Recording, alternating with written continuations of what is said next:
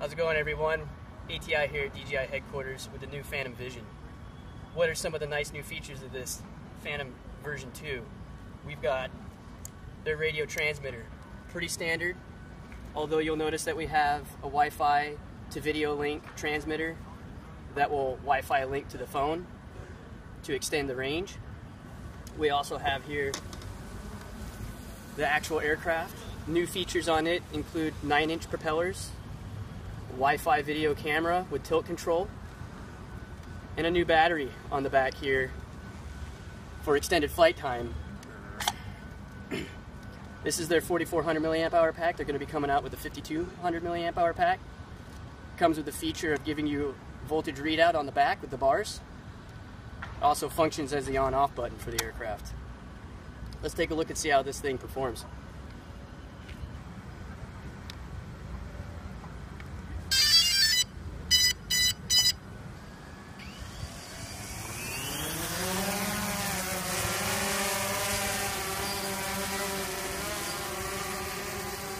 One of the nice new features of this Phantom aircraft is the status LED indicator is now on the back booms, the back arms, that will tell you what mode you're in, also indicate whether or not power is getting too low. The helicopter performance is greatly increased. This aircraft is very stable, both in ascent and descent, along with a incredible long flight time of 25 minutes. USB ports in the front instead of having to go through the back battery door. Tilt control is also stabilized and moving aft and front. You'll notice that the camera will tilt. All the camera functions are controlled on the iPhone.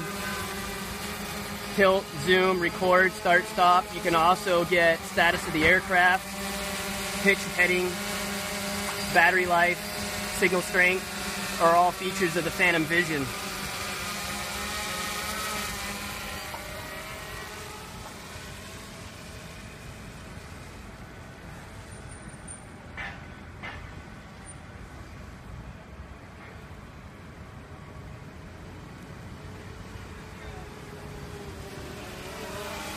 Look at that.